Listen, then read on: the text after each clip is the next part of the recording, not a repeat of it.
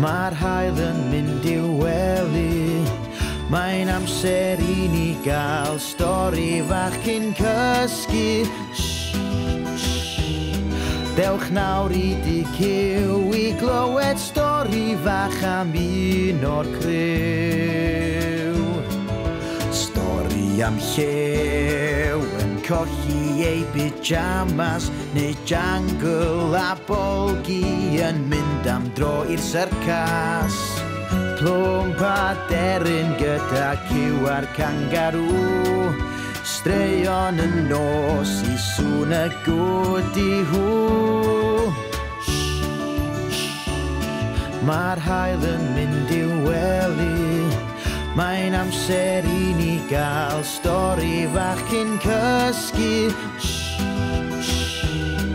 Dewch nawr i di cyw i glywed stori fach am un o'r criw. Ie, dewch da ni fyd cyw.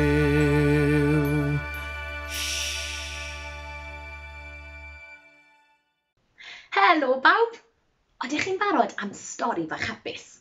Wel, gwnewch eich hun yn gyfforddus. Heddi, gewn ni stori am het newydd triog. Roedd triog wedi cael het newydd yn anreg penblwydd. Het goch oedd hi, un fawr gynnes, gyda pobom ar y top. Roedd triog wrth ei bodd gyda'i het newydd, a byddai'n ei gwisgo bob diwrnod i chwarae neu i fynd am dro. Doedd gan neb arall het Ac roedden nhw i gyd yn meddwl bod triog yn edrych yn smart iawn yn ei het newydd.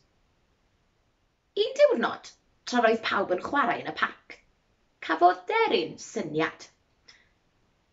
Ble mae Deryn? holodd Cyw ar ôl sylwi ei bod wedi diflannu ers tro. Ar y gair, daeth Deryn yn ei hôl gyda rhywbeth ar ei ffen.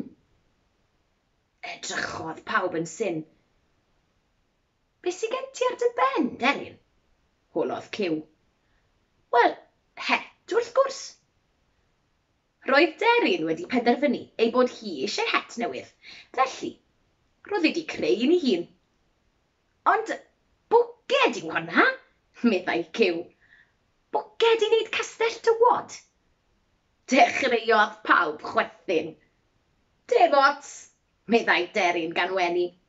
Mae'n gwneud y tro yn iawn i mi fel het. Roedd pawb wrth ei boddau gyda het newydd deryn. Y diwrnod wedyn, roedd pawb yn chwarae yn y parc eto. Roedd Triog yn gwisgo'i het newydd goch a Deryn yn gwisgo'i het newydd hithau. Ble mae Bolgi? Holodd Cyw ar ôl sylwi bod Bolgi wedi diflannu ers tro. Ar y gair, dyma Bolgi yn dod gyda rhywbeth ar ei ben. Edrychodd pawb yn syn ar Bolgi. Be sy gen ti at y ben? holodd Cyw. Wel, het wrth gwrs, meddai Bolgi. Roedd Bolgi wedi penderfynu ei fod e eisiau het newydd hefyd, felly roedd e wedi creu un ei hun. Ond Bolgi, pot blodau yw hwnna, meddai Cyw, i dyfu blodau ynddo. Dechreuodd pawb chwerthin. Dim ots, meddai Bolgi gan Wenu. Mae'n gwneud y tro'n iawn i mi, fel het. Y diwrnod wedyn, roedd pawb yn chwarae yn y parc eto. Roedd Triog yn gwisgo'i het newydd goch, Deryn yn gwisgo'i het newydd hithau, a Bolgi yn gwisgo'i het newydd e. Ble mae llew?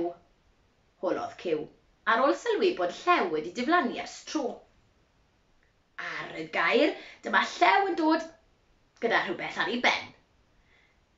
Edrychodd pawb yn syn ar llew.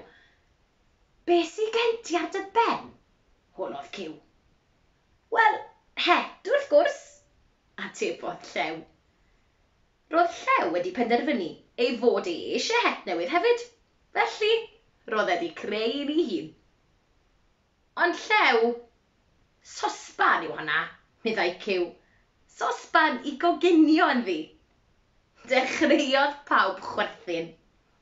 Dim ots, meddai llew gan Wenu. Mae'n gwneud y tro yn iawn i mi fel het. Erbyn hyn, roedd gan triog, deryn, bolgi a llew hetiau newydd gwych. Dwi'n gwybod, meddai triog yn gyffroes. Beth am i ni ffeindio het newydd i jangle plwmp a cyw hefyd. Ac yna, cael parti hetiau. Ie, syniad gwych, meddai pawb. Hore! Bu pawb yn brysur yn chwilio yn y parc, yn yr ardd, ar y fferm ac yn y tŷ am rhywbeth fyddai'n gwneud het i jangl, plwmp a cyw. Ar ôl llawer o chwilio, daeth pawb o hyd i'r het berffaith roedd Cyw wedi cael het côn traffig. Het fawr, oren, oedd fel triongl mawr ar ei phen. Roedd Plwmp wedi cael het trwmped, het air, ddisglair, oedd yn cyrlio'n uchel uwch ei ben. Ac roedd Jungle wedi cael het bin sbriel. Het fawr gyfforddus oedd yn ffitio'n dda am ei phen edrychodd pawb ar ei hetiau newydd a chwerthin dros pob man. Nawr, roedd hi'n amser am parti hetiau. Bu pawb yn dawnsio, canu a chwarae drwy'r prynhawn yn ei hetiau newydd.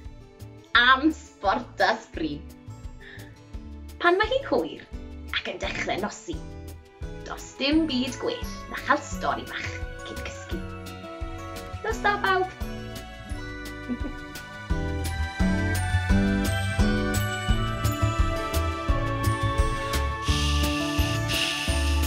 Mae'n amser mynd i gysgu Bydd stori eto rhyw dro wrth iddi nosi